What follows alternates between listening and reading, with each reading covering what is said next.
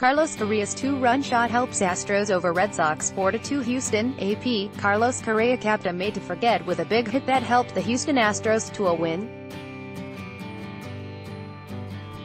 Correa snapped in 0 for 10 slump with a two-run homer in the first, and Tony Kemp and Jake Marisnick each had an RBI in a 4-2 victory over the Boston Red Sox on Thursday night. Ad choice advertising in red invented by Teads Correa's home run ended a month during which he hit just .192 after batting .315 in April. May wasn't the best month for me, but it's not like I've never been here before, he said. I've struggled before for a month and it's a long season. So today was a big stride with that first at bat. Hopefully I can keep it up and have a great June. Advertisement Houston starter Lance McCullers, 7-3, allowed 4 hits and 2 runs in 6 innings to help the Astros to the victory in this rematch of last year's ALDS, which Houston won in 4 games. Ken Giles gave up a single to Sandy Leon with two outs in the ninth before walking Jackie Bradley Jr., but Marisnick grabbed a fly ball hit by Blake Swihart to end it and give Giles his 10th save. The game was tied at 2 when J.D. Davis singled to start Houston's fourth. Tim Federowicz hit a ground rule double with one out before Davis barely beat the throw home to score on a single by Kemp to put Houston up 3-2. The Red Sox challenged the play, but it was upheld. Marisnick followed with a bunt that allowed Federowicz to score and the Astros to push the lead to 4-2. Victory snapped a three-game winning streak for the Red Sox, who at 39-18 still have baseball's best record. Boston's Drew Pomeranz, 1-4, allowed six hits and four runs in five innings after failing to pitch longer than four innings in his past three starts.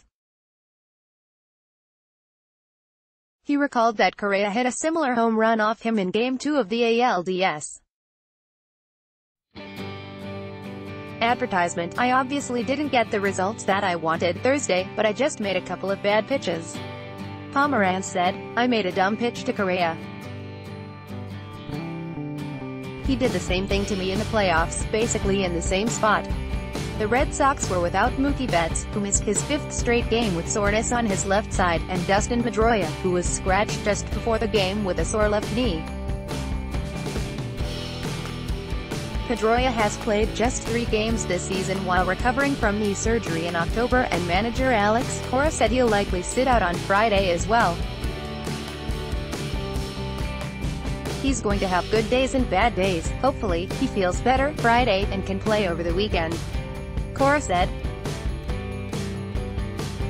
Alex Bregman walked with one out before Correa's shot to left field made it 2-0 in the first inning. McCullers was shaken up in the second inning when he and Rafael Devers had a collision when the pitcher went to cover first base after Devers hit a ground ball. Devers tripped over the foot of McCullers and went tumbling to the ground in a crash that also sent McCullers falling into the dirt. Both players got up after a couple of minutes and McCullers remained in the game after a couple of warm-up pitches. Bradley got Boston's first hit with a double to start the third inning. Andrew Benintendi walked with one out before the double by Xander Bogaerts scored them both to tie it at two. Trainers room advertisement Red Sox, Cora doesn't think Betts will need to go on the disabled list. He said he was doing better on Thursday and thinks he'll be able to return sometime during this series which ends on Sunday. Astros, Josh Reddick, who is on the disabled list with an infection in his left knee, took early batting practice on Thursday, but isn't expected to return during this series. Manager AJ Hinch said Reddick could be back for the start of Tuesday's series against Seattle, but he could need a few more days to recover. I like where he's at. Hinch said. I like the fact that he's starting to do baseball activities, and he sounds like he's feeling better. Picking up the hardware Cora and bullpen coach Craig Bjornson, who were both on Houston's staff last season before joining the Red Sox, picked up their World Series rings in a pre-game ceremony. Cora was thrilled to have his daughter at the ballpark on Thursday to be with him when he received the ring. It's beautiful, by the way, he added. Up next Boston's Chris Sale, 5-2, 2.76 ERA, looks to bounce back from his previous start in which he allowed a season-high six runs in four and a third innings when he opposes Gerrit Cole, 5-1, 2.05 on Saturday night. Cole, who leads the American League with 109 strikeouts, did not factor into the decision in his previous start after the Astros blew the lead late in a 10-9 loss to Cleveland in 14 innings. By Taboola by Taboola Sponsored links Sponsored links Promoted links Promoted links. You may like high fashionable these plus size dresses. Transformations will surprise every man. A fashionable under I'll say hello to the app which gets you speaking a new language in just three weeks. Babbel Throne, free online game. Find out why.